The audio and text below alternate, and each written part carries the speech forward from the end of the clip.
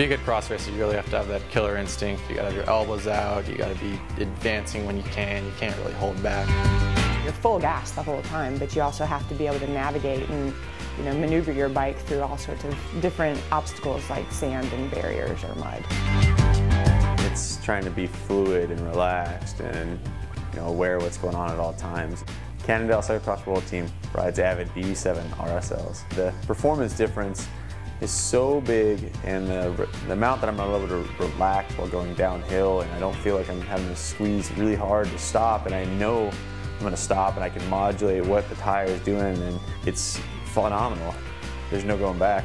The BB7 RSLs have just a lot of power. So when you're coming down something very steep, it's the ability to say you want to brake, you know, and think it, and then being able to actually do it. The first race that I used disc brakes, I thought, man, I'm not going to really see much of a difference. And I was amazed. Because I'm able to brake later, I can come into more speed and I can get through the corners faster than other riders. So I'm able to pass a rider or even two riders in those last couple meters. This year we're working with the Avid BB7 RSL.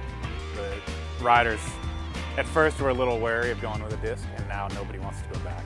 It's so much easier to ride. Stops better, stops more consistently, quieter. Everybody is so stoked on the brakes now. Well, SRAM Red is, is first and foremost durable, so every weekend, you know, we pull the bikes out of the trailer and they're ready to race. We don't, we don't have a lot of upkeep in between the races, which is very nice. The road one-to-one -one exact actuation on the uh, Drupo is great, especially when it's, it's muddy and the conditions are bad because it's, it just keeps the shifting so precise, even in the worst conditions. Been racing in cold weather, warm weather, and it's been working great. No, like nothing, misshifting was running smooth and everything. What I like about SRAM from the beginning is the positive shifting. You know, it has that click to it, that super positive click, and I always like that. Part about SRAM Red is the zero loss.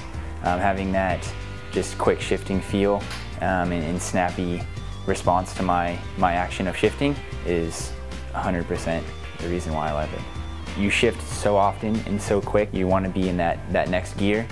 It's, it's quick, it's smooth, it's fast. Our women riders especially love the reach adjust for their smaller hands, especially in cross where you're out there in the cold and the wet and your hands are numb and, and it's hard to reach the brakes already. And you're not fumbling around looking for different shift paddles. You just have the one shifter and it's really brainless in those, uh, those muddy, wet days, which is great. I've got pretty small hands and what I like most about my SRAM is the reach adjustment. It allows me to have better control over my bike. I really like the shape of the new SRAM Red and it works well. I have fairly small hands um, and I find it really good. The best thing about working on the SRAM chains is the power lock system because when you put the chain together, you know that it's going to work 100% of the time. You don't have to worry about if you push the pin in too far or not far enough. Or, there's never any stiff links in the, in the system when you get it together.